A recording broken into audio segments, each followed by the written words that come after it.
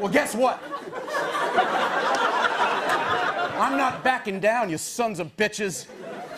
I don't know the meaning of the word stop.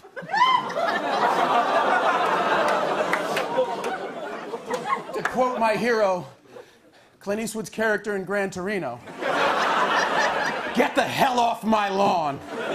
Get off my lawn. Did you hear me? I said get off my lawn now. Yeah, I blow a hole in your face and then I go in the house and I sleep like a baby. Please.